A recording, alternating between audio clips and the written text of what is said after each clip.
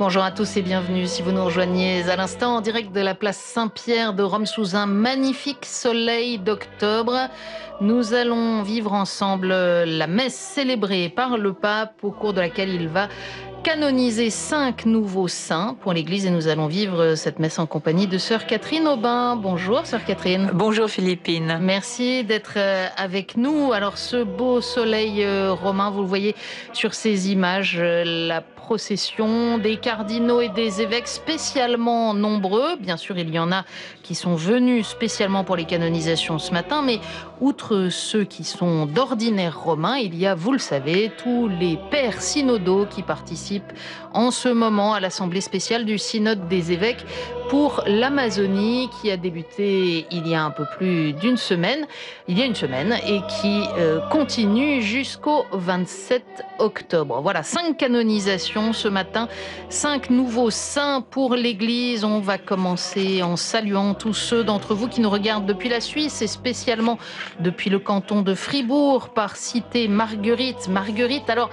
il va falloir prendre une décision douloureuse. Est-ce qu'on va l'appeler Marguerite Bailly et satisfaire les fribourgeois ou l'appeler Marguerite Baïs peut-être un peu des deux. En tout cas, euh, on salue tous ceux d'entre vous qui suivent KTO depuis la Suisse. Et puis, on salue évidemment la figure de cette euh, bienheureuse, bientôt sainte, Marguerite Baïs du tiers-ordre franciscain, une simple couturière miraculeusement guérie d'un cancer qui avait reçu également les stigmates et qui, euh, eh bien, s'est illustrée par le service de tous dans sa communauté.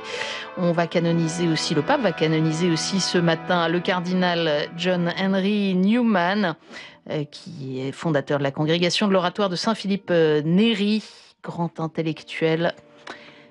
Et puis également Dulce Lopez Pontes, une religieuse de la congrégation des Sœurs missionnaires de l'Immaculée Conception de la Mère de Dieu, connue pour son action envers les plus pauvres euh, au Brésil. Elle a été euh, rencontrée par euh, Jean-Paul II, elle a elle-même rencontré Mère Teresa aussi à plusieurs reprises puisque elle a vécu au XXe siècle. Elle est morte en 1992. Elle a été béatifiée très peu de temps après sa mort. Canonisée aussi ce matin, Marie-Thérèse Chiramel Mankidian, religieuse indienne, fondatrice des Sœurs de la Sainte Famille de Trissour en Inde, notamment engagée dans l'éducation des filles. Et puis la bienheureuse italienne Giuseppina Vanini, fondatrice des Filles de Saint-Camille, la prolongation féminine de l'ordre des clercs régulier ministre des Infirmes de Saint-Camille de l'Hélice. On va apprendre à mieux les connaître. Vous le savez, c'est au début de la célébration que se tient le rite euh, de canonisation. Et nous allons donc euh, nous préparer à entrer ensemble dans cette célébration.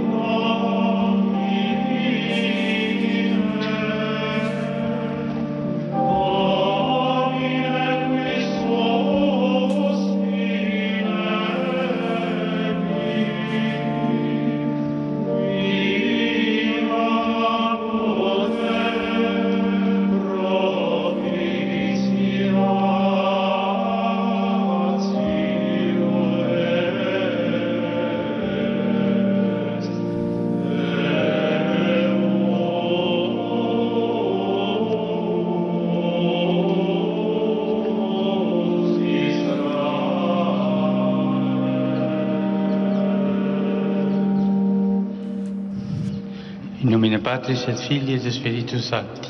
Amen. Pax vobis. Et cum spiritu tuo.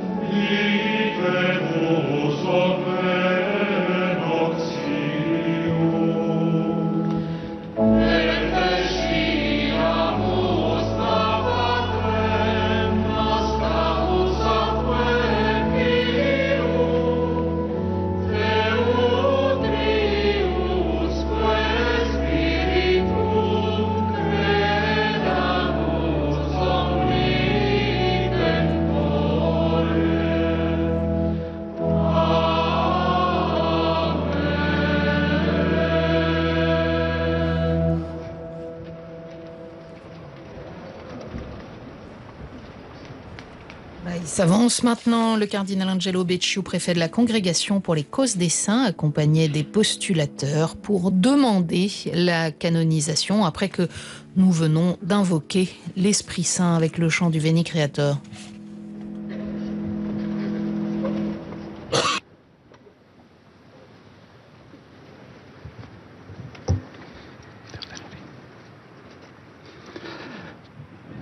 Beatissime Pater, Saint-Père, la Sainte Mère Église demande avec force que votre sainteté inscrive les bienheureux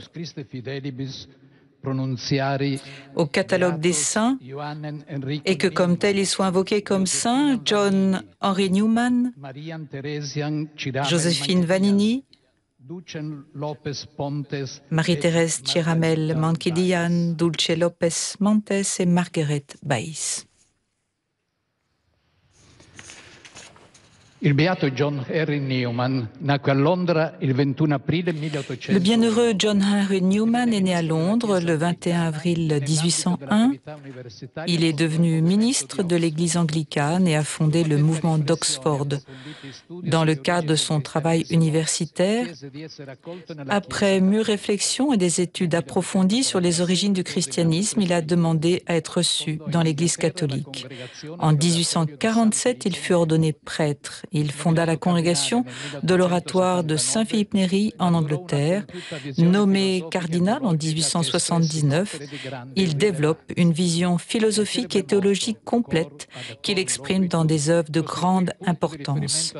La célèbre devise Le cœur parle au cœur, corps à corps, loquitur constituait le point de référence assidu et fécond de sa vie et de sa pensée.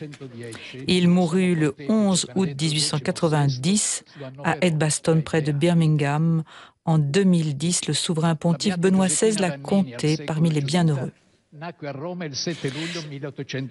La bienheureuse Giuseppina Vanini, née Giuditta, est née à Rome le 7 juillet 1859. Après avoir surmonté quelques difficultés, elle rejoint en 1891 le projet du père camillien Luigi Tezza de fonder une congrégation féminine selon l'esprit de service des pauvres et des malades de Saint-Camille de l'Hélice. L'année suivante, elle prit l'habit religieux, prenant le nom de Sœur Maria Giuseppina, et le 8 décembre 1895, elle prononce ses vœux perpétuels.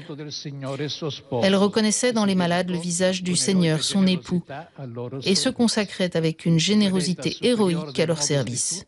Elle fut élue supérieure du nouvel institut, les filles de Saint Camille, une charge qu'elle accomplit avec zèle et fidélité jusqu'à sa mort le 23 février 1911.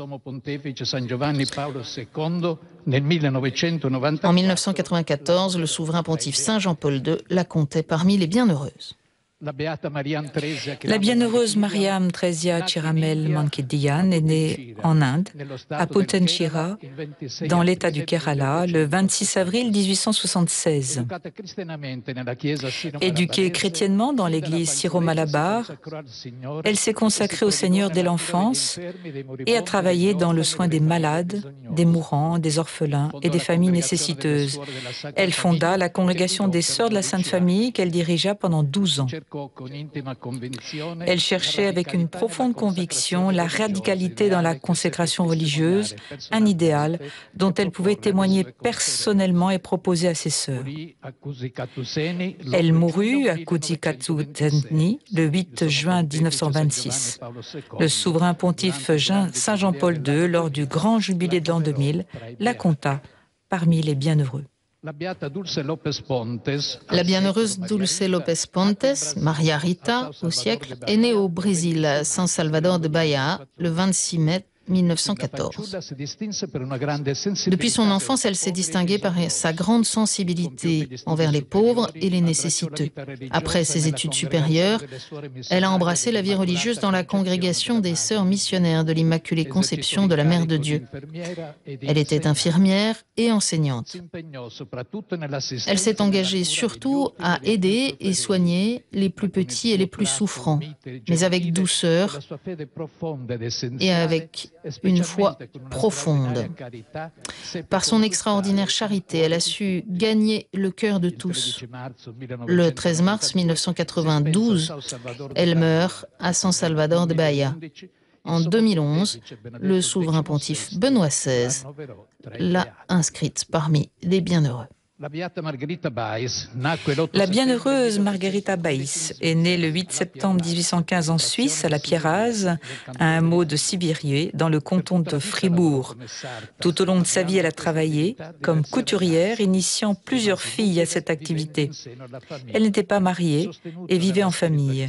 Soutenue par la spiritualité franciscaine qu'elle a intensifiée en s'associant à l'ordre séculier du pauvre d'Assise, elle a exercé un apostolat actif dans la paroisse et dans les pauvres qu'elle appelait les favoris de Dieu.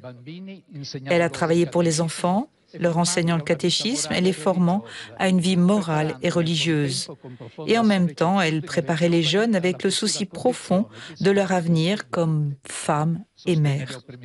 Elle a soutenu les œuvres missionnaires, contribué à la diffusion de la presse catholique. Sa vie a été transformée par la souffrance au Christ crucifié. Selon son vœu, elle mourut à la fête du Sacré-Cœur le 27 juin 1879. Le souverain pontife Saint Jean-Paul II la compta parmi les bienheureux en 1995.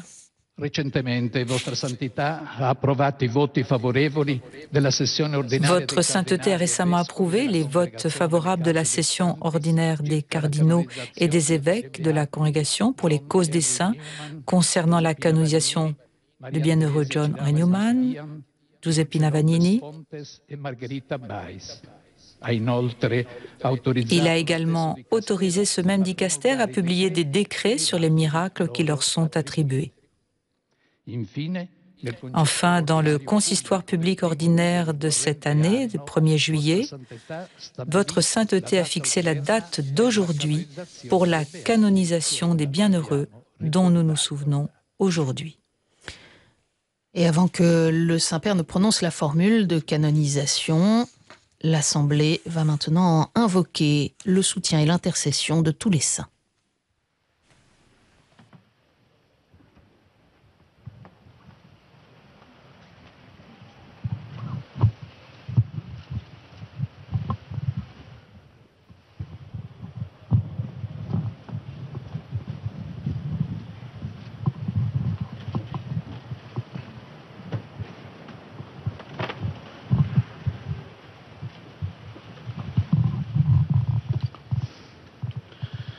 Fratelli carissimi, Dio Patri Onnipotenti, preces nostras per Iesum Christum levemus, ut Beate Mariae Virgines, et omnium sanctorum solum intercessione, sua gratia sustiniat, id, quod soleniter acturissimus.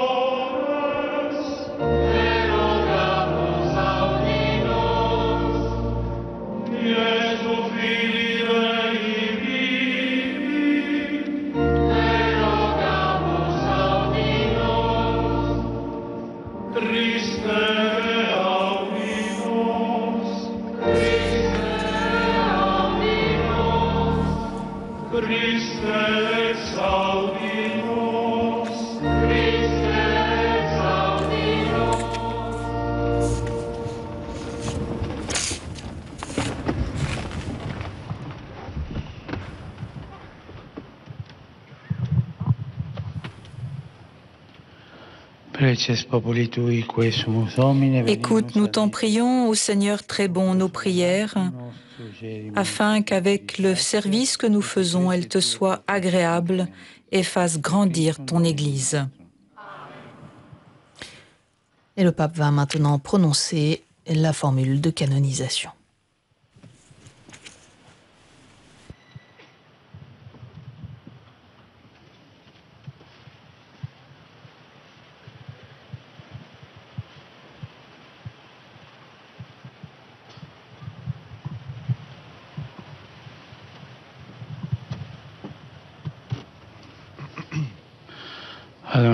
Sancte et individue Trinitatis, ad exaltationem fidei catholice et vitae Christianae incrementum, autoritate Domini nostri Iesu Christi, Beatorum Apostolorum Petri et Pauli ac nostra, matura deliberazione preabita et divina ope sepius implorata, ac de plurimorum fratrum nostrorum consilio, Beatos Ioannem Enrico Newman, Josefina Banini, Maria Teresia Charmel Manchidian, Dulcem Lopez Pontes et Margarita Ambais, Sanctos esse de cernibus et definimus, a santorum catalogo ascribimus statuet in seus in universa ecclesia inter santos pia devotioni recoli deveri in nomine Patris et Filio et Spiritus Sancti. Amen. Et l'Assemblée peut maintenant faire monter sa louange. Le pape vient de prononcer la canonisation de John Henry Newman, Giuseppina Vanini, Mariam Teresia Chiramel Mankidian, Dulce Lopez Pontes et Marguerite Baïs.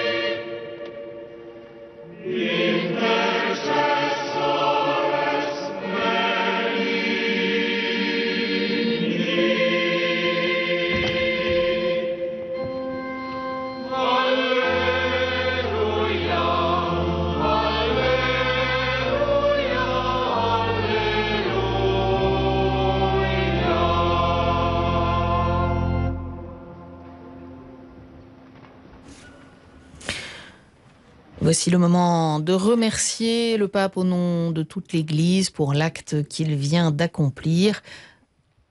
C'est le cardinal Becciu qui s'avance à nouveau.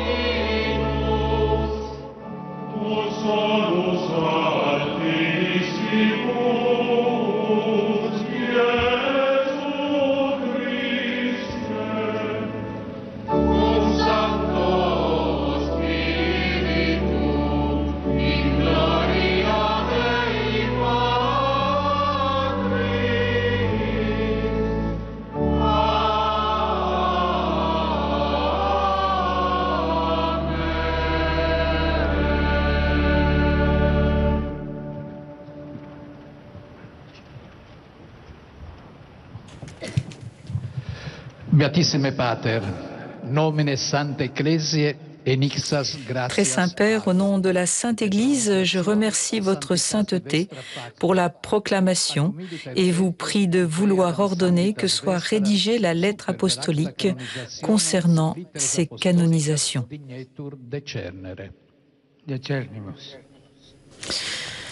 Nous leur donnons. Voilà. Vient de répondre Tout petit, quoique liturgique, puisque un chantre un peu pressé a lancé euh, le Gloria avant ce moment qui appartient au rite de la canonisation du, du remerciement. Tua quesumus Domine gratia semper et preveniat et sequatur. Ac bonis operibus iugiter prestet esse intentos. Per Dominum nostrum Iesum Christum, Filium Tuum, qui te convivit et regnat in unitate Spiritus Sancti Deus, per omnia saecula saeculorum. Et ce moment de la canonisation prend fin. Maintenant, nous allons reprendre le cours usuel de la liturgie. Nous entrons dans la liturgie de la parole.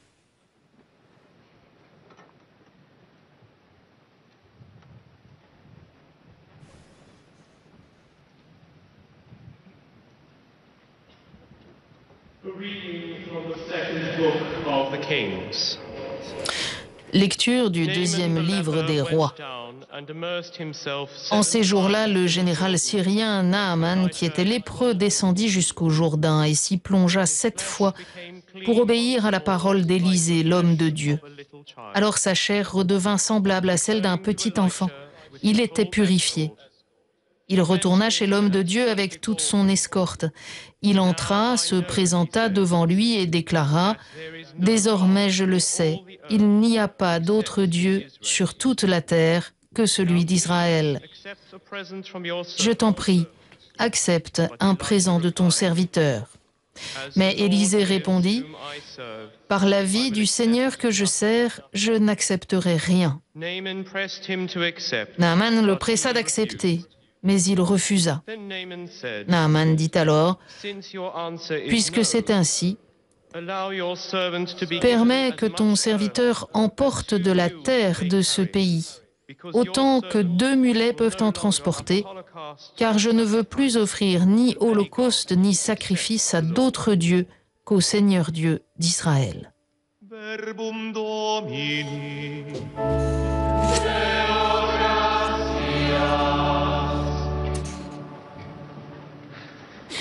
En ce 28e dimanche du temps ordinaire, nous chantons le psaume 97. Chantez au Seigneur un chant nouveau, car il a fait des merveilles.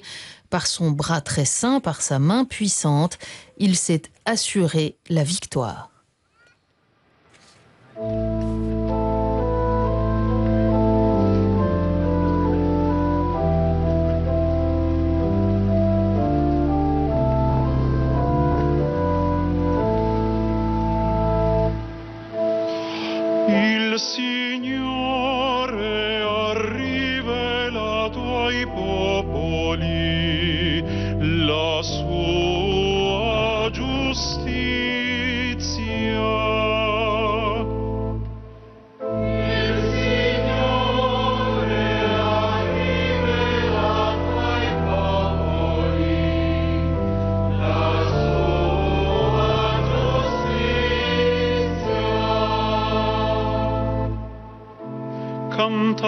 Signore un canto nuovo, perché ha compiuto meraviglie.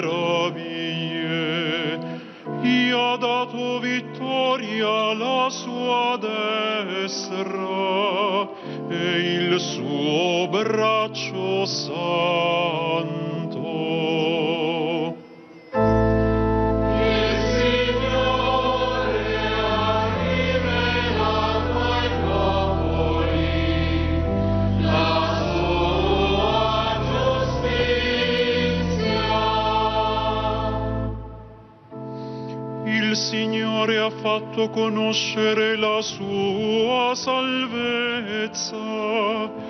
Agli occhi delle genti ha rivelato la sua giustizia. Egli si è ricordato del suo amore, della sua fedeltà alla casa di Israele.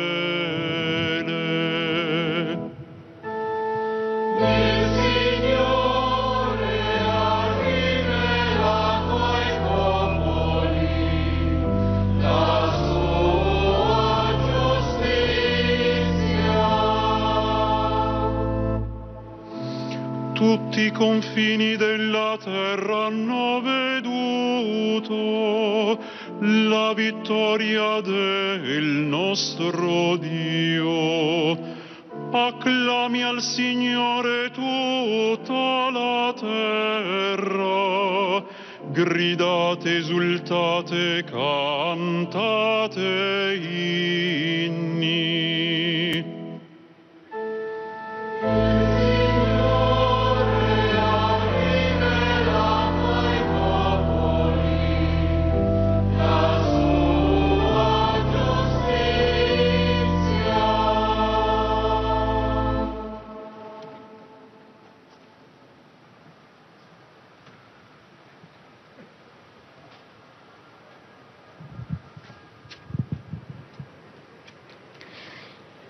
Dalla seconda lettera di San Paolo Apostolo a Timoteo.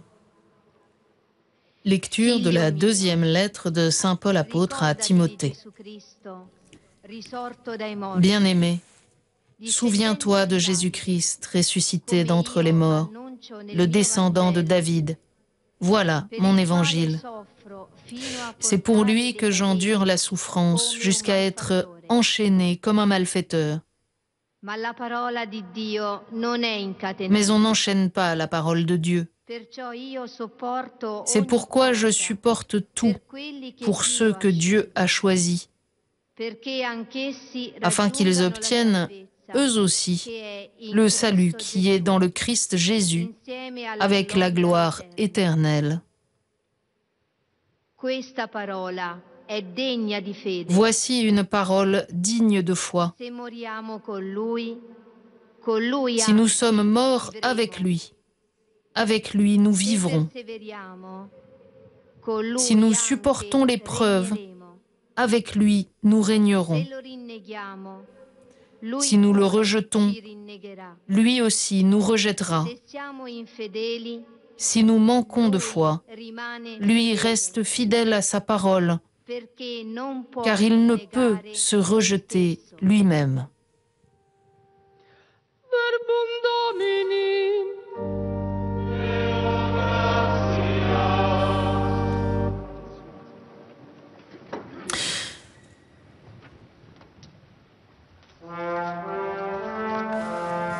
Et s'avancent maintenant les deux diacres qui vont proclamer l'évangile, d'abord en latin, puis en grec, manifestant l'universalité de cette célébration et la respiration de l'Église avec ses deux poumons d'Orient et d'Occident.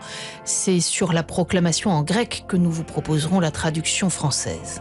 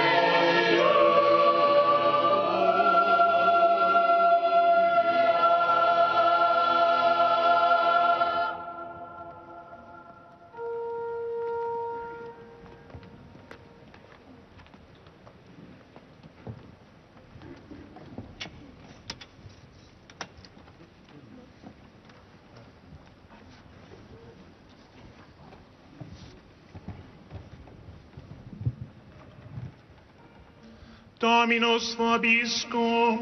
Et Lectio Sancti Evangelii secundum locam.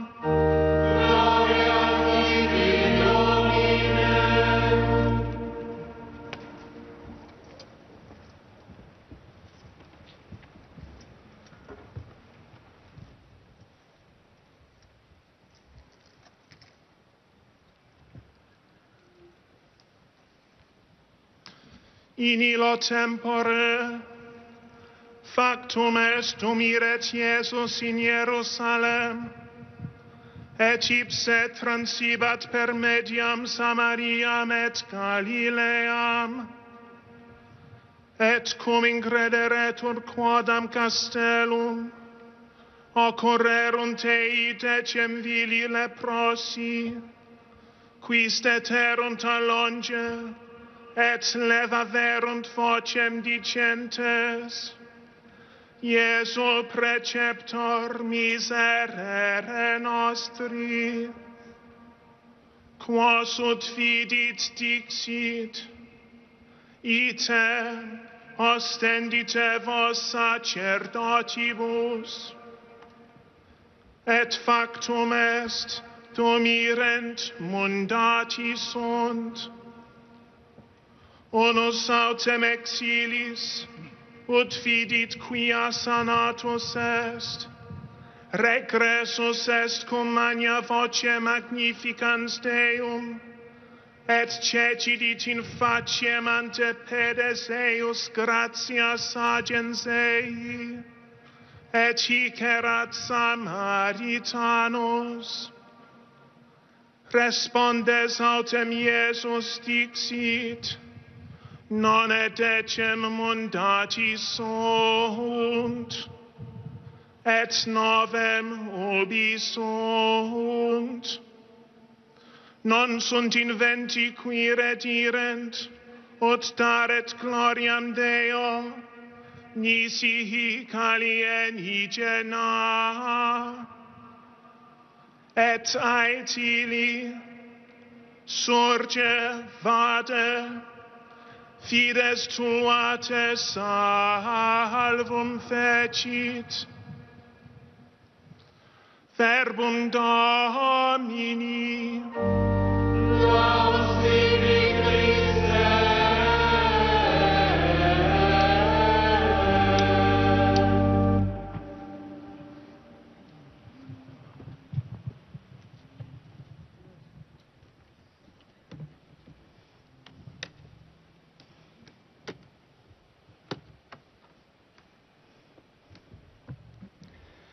Σοφία ορθή ακούσομεν του Αγίου Ευαγγελίου.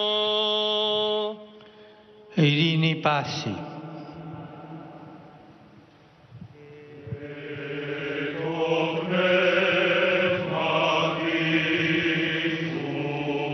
Εκ του Λουκάν Αγίου Ευαγγελίου το ανάγνωσμα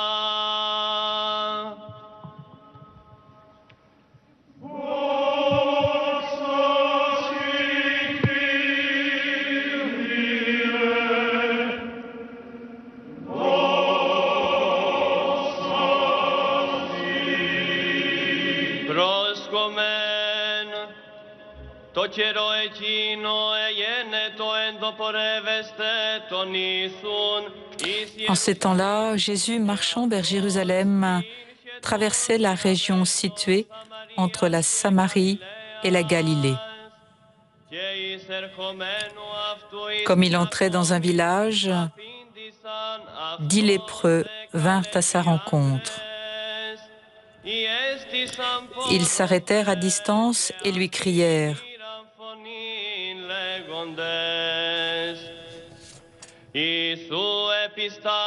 Jésus, Maître, prends pitié de nous. À cette vue, Jésus leur dit Allez vous montrer au prêtre. En cours de route, ils furent purifiés. L'un d'eux, voyant qu'il était guéri, revint sur ses pas en glorifiant Dieu à pleine voix. Il se jeta face contre terre aux pieds de Jésus en lui rendant grâce. Or, c'était un Samaritain. Jésus prit la parole en disant,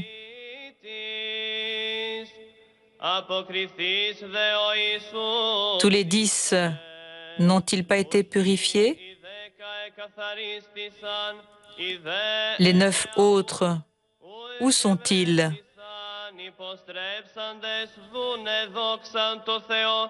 Il ne s'est trouvé parmi eux que cet étranger pour revenir sur ses pas et rendre gloire à Dieu?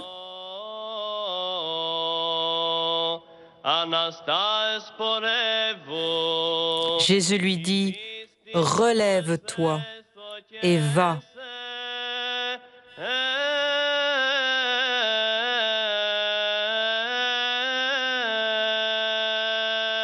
Ta foi t'a sauvé.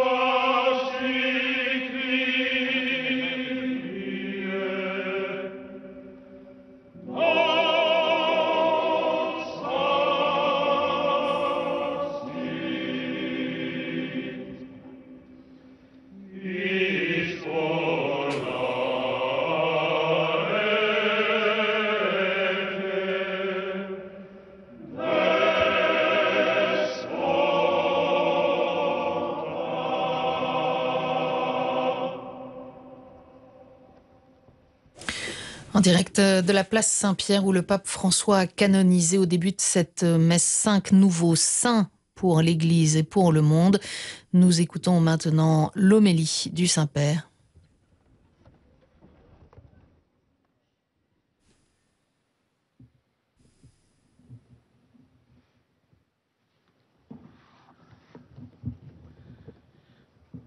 La tua fede ti ha salvato. Ta foi t'a sauvé. C'est le point d'arrivée de l'évangile de ce jour qui nous montre le chemin de la foi. Dans ce parcours de foi, nous voyons trois étapes indiquées par les lépreux qui ont été guéris et qui invoquent, marchent et remercient. D'abord, invoquer. Les lépreux se trouvent dans une condition terrible non seulement en raison de la maladie qui, répandue encore aujourd'hui, doit être combattue à tout prix, mais aussi en raison de l'exclusion sociale. Au temps de Jésus, ils étaient considérés comme impurs et comme tels, ils devaient être maintenus à l'écart, isolés. En effet, nous voyons que lorsqu'ils vont vers Jésus, ils s'arrêtent à distance. Mais bien que leurs conditions les mettent à part, ils invoquent Jésus à haute voix, dit l'Évangile. Ils ne se laissent pas paralyser par les exclusions des hommes et ils crient vers Dieu qui n'exclut personne. Voilà comment les distances se réduisent, comment on sort de la solitude. Non, pas en se renfermant en soi-même et dans ses regrets, non pas en pensant au jugement des autres, mais en invoquant le Seigneur, car le Seigneur écoute le cri de celui qui est seul. Comme ces lépreux, nous aussi, nous avons tous besoin de guérison. Tous. Nous avons besoin d'être guéris du manque de confiance en nous-mêmes, en la vie, en l'avenir guéris de tant de peurs, des vices dont nous sommes les esclaves, de tant de fermeture, dépendance et attachement au jeu, à l'argent, à la télévision, au téléphone portable, au jugement des autres. Le Seigneur libère et guérit le cœur si nous l'invoquons. Si nous lui disons, Seigneur, je crois que tu peux me guérir. Guéris-moi de mes fermetures. Libère-moi du mal et de la peur, Jésus. Les lépreux sont les premiers dans cet évangile à invoquer le nom de Jésus. Ensuite, un aveugle et un malfaiteur sur la croix le feront aussi. Les personnes qui sont dans le besoin invoquent le nom de Jésus qui signifie Dieu sauve. Elles appellent Dieu par son nom, directement, spontanément. Appeler quelqu'un par son nom est un signe de confiance et cela plaît au Seigneur. La foi grandit ainsi par l'invocation confiante, apportant à Jésus ce que nous sommes, à cœur ouvert, sans cacher nos misères. Invoquons avec confiance chaque jour le nom de Jésus. Dieu sauve. Répétons-le. C'est prier. Dire Jésus, c'est prier. La prière est la porte de la foi. La prière est la médecine du cœur. Marcher. C'est la deuxième parole et c'est la seconde étape. Dans le court évangile de ce jour figure une dizaine de verbes de mouvement. Mais ce qui frappe, c'est surtout le fait que les lépreux ne sont pas guéris lorsqu'ils se tiennent devant Jésus, mais après, lorsqu'ils marchent. En cours de route, ils furent purifiés, dit le texte.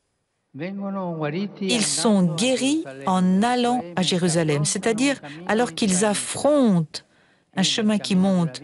C'est sur le chemin de la vie que l'on est purifié. Un chemin qui est souvent en montée parce qu'il conduit en haut.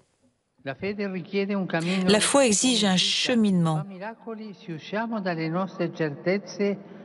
Ça fait des miracles lorsqu'on sort de nos certitudes commodes, si nous quittons nos ports rassurants, nos nids confortables. La foi grandit avec le don et croît avec le risque. Oui, croît avec le risque. La foi progresse quand nous allons de l'avant, fort de la confiance en Dieu. La foi devient une route avec des pas humbles et concrets. Comme humbles et concrets ont été la marche des lépreux et le bain de Naaman dans le Jourdain dans la première lecture. Il en est de même pour nous. Nous avançons dans la foi, par l'amour humble et concret, par la patience quotidienne, en invoquant Jésus et en allant de l'avant. Il y a un autre aspect intéressant dans le cheminement des lépreux. Ils se déplacent ensemble. Ils furent purifiés, dit l'Évangile, toujours au pluriel. Croire, la foi, c'est marcher ensemble, jamais seul, jamais. Mais une fois guéris, neuf s'en vont pour leur propre compte et un seul retourne, remercier. Jésus exprime alors toute son amertume. Et les neuf autres, où sont-ils? Il semble demander compte des neuf autres au seul qui est retourné. Certes, c'est notre devoir à nous qui sommes ici à faire Eucharistie, c'est-à-dire à remercier. C'est notre devoir de prendre soin de celui qui a cessé de marcher, de celui qui a perdu la route. Nous sommes les gardiens des frères qui sont loin. Nous sommes des intercesseurs en leur faveur. Nous sommes responsables à leur égard, c'est-à-dire appelés à répondre d'eux, à nous soucier d'eux. Tu veux grandir dans la foi? Prends. Toi qui es ici, tu veux grandir dans la foi? Prends soin d'un frère qui est loin, d'une sœur qui est loin. Invoquer, marcher et remercier. C'est la dernière étape. Jésus dit, ta foi t'a sauvé uniquement à celui qui le remercie. Il n'est pas seulement guéri, il est ainsi sauvé. Cela nous dit que le point d'arrivée, ce n'est pas la santé, ce n'est pas le fait d'être bien, c'est la rencontre avec Jésus. Le salut, ce n'est pas boire un verre d'eau pour être en forme, c'est aller à la source qui est Jésus. Lui seul libère du mal et guérit le cœur. Seule la rencontre avec lui sauve, rend la vie pleine et belle. Quand on rencontre Jésus, le merci naît spontanément, car on découvre la chose la plus importante de la vie, non pas recevoir une grâce, ou résoudre un problème, mais embrasser le Seigneur dans la vie. Ça, c'est la chose la plus importante dans la vie. Embrasser le Seigneur de la vie. Il est beau de voir que cet homme guéri, qui était un Samaritain, exprime sa joie de tout son être. Il loue Dieu à grande voix, se prosterne, remercie. Le, le sommet du chemin de foi c'est de vivre en rendant grâce. Nous pouvons nous demander, nous qui avons la foi, vivons-nous les journées comme un poids à subir ou comme une louange à offrir? Restons-nous centrés sur nous-mêmes en attendant de demander la prochaine grâce ou bien trouvons-nous notre joie dans l'action de grâce? Quand nous remercions, le Père est ému et répand sur nous l'Esprit Saint. Remercier, ce n'est pas une question de politesse, de bienséance, c'est une question de foi. Un cœur qui remercie reste jeune. Dire merci Seigneur au réveil, pendant la journée, avant de se coucher, c'est l'antidote. Écoutez bien, dire merci, c'est l'antidote au vieillissement du cœur. Parce que le cœur vieillit et il s'y habitue. De même en famille, entre les époux, se rappeler de dire merci. Merci est le mot le plus simple et le plus bénéfique.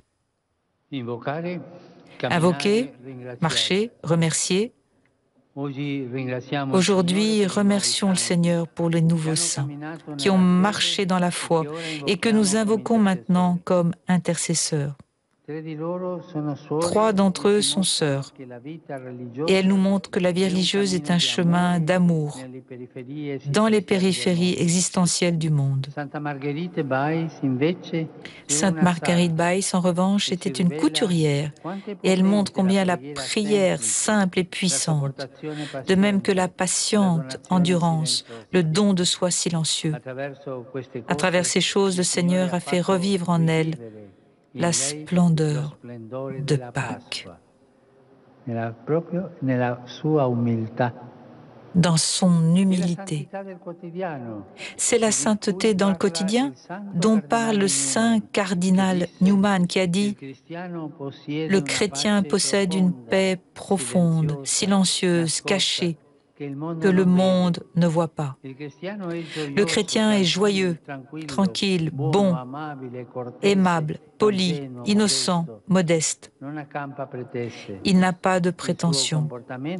Son comportement est tellement éloigné de l'ostentation et de la sophistication qu'à première vue, on peut facilement le prendre pour une personne ordinaire. Demandons d'être ainsi, de douce lumière dans les obscurités du monde. Jésus reste avec nous et nous commencerons à briller comme tu brilles, à briller de manière à être une lumière pour les autres. Amen.